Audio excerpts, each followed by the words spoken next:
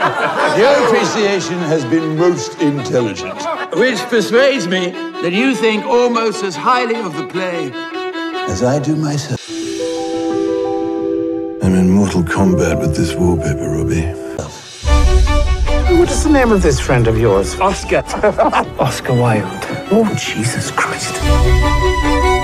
I hear you're writing a new play. I shall, under such circumstances, pass the severest sentence that the law allows. There's no mystery so great as suffering. But suffering is nothing when there is love. Love is everything. Oscar, let's run away. Somewhere no one could find us. You don't know what you're saying.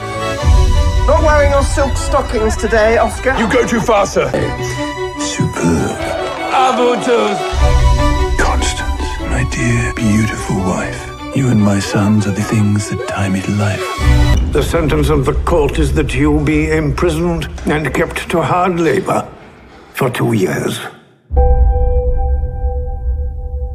To have been convicted is so bad, you must be dead to all sense of shame.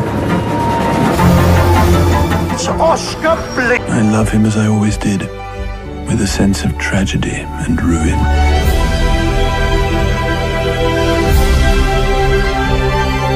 No, you go too far, madam. I am a ruined man.